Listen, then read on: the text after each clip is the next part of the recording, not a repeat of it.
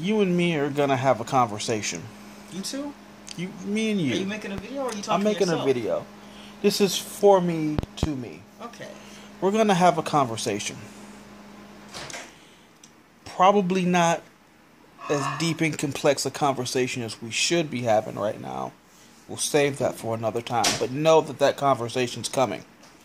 I like watching people talk to themselves. Like, no, really, that's a real thing. It's always you can always learn a lot about a person by the way they talk directly to themselves.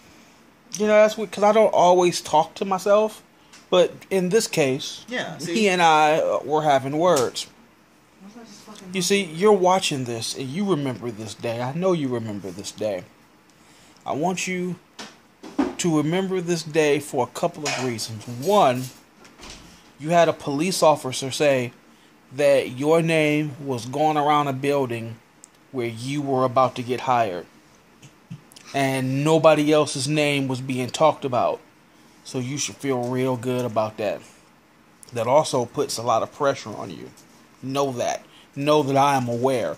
Because if something happens and you don't get this job, it's because one, somebody got hired internally and the whole thing was just bullshit and they had to put it out there. Or two, you fucked up. Let, let there be no mistake. There's only one of two ways that that can go. And honestly, the, the chance that they would hire internally makes sense. But also, I can't see somebody leaving a permanent position with a company for a position that might not be there in two years. That that don't make no sense to me. So we'll see how it goes. Just remember that today was the day you were told your name was buzzing around regional transit.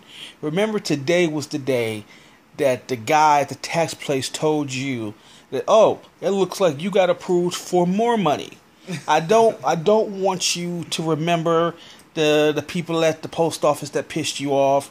I don't want you to remember the lady at the, the fucking grocery store that just cut in line and it was just like, where do you keep the Velveeta, that weird cheese product? The- the- Don't remember it for that.